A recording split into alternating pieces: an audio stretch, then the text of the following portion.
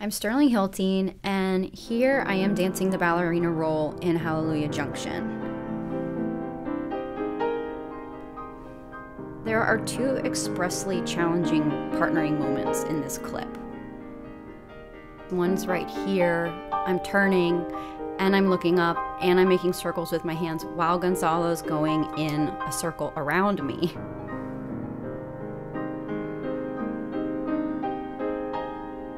When I'm dancing a ballet, and even if it's an abstract ballet, sort of such as this one is, I always tend to have a narrative in my head. It helps my focus and it gives me a clear source of intent to apply to my movement and how I relate to my partner.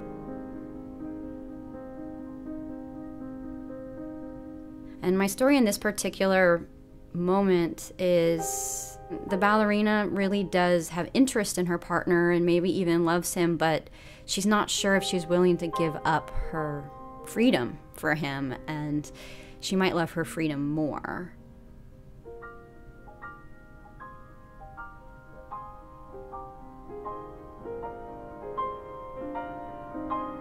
The second difficult moment in this clip is a moment that we call skating.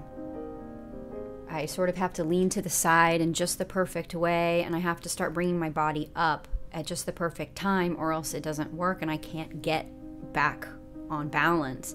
In addition, Gonzalo has to time his walking not too slow, not too fast, and it has to be completely congruent with how my leg is rond